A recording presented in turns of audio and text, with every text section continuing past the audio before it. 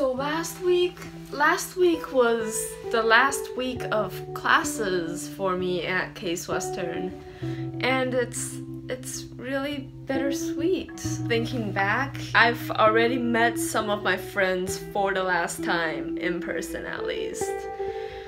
And I mean, I'm I still have one more month here, but you know, it's just I'm not going to be meeting everyone. I am very excited to be moving on, but also the nostalgic feeling is just a bit much. This last semester I took classes in statistical mechanics and cosmology, and both of the classes were pretty cool. Statistical mechanics, I went in from undergraduate. I actually did not like statistical mechanics, but the professor was the same professor from my biophysics class from last semester, and I thought I'd give him a shot, you know. And now I think I'm starting to like stat mech. In terms of cosmology, this was my first cosmology or astrophysics class I've taken, and it'll probably be my last cosmology class.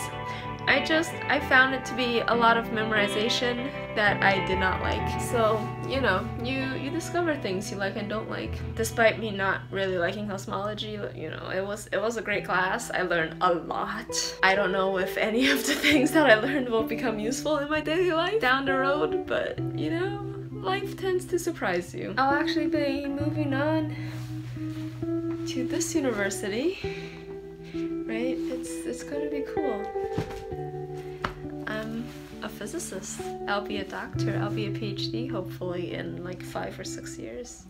Hopefully five. I've been told to aim for three to four years and then inevitably an experiment's going to go wrong and you'll have to end up graduating in five to six years. So aiming for three to four years. These will be the professors I'll be meeting every day and I. We'll see which one of them becomes my favorite. Obviously, Itai is gonna be my favorite, right? uh, speaking of Itai, I dug around on his website some more and I, I really think I like him.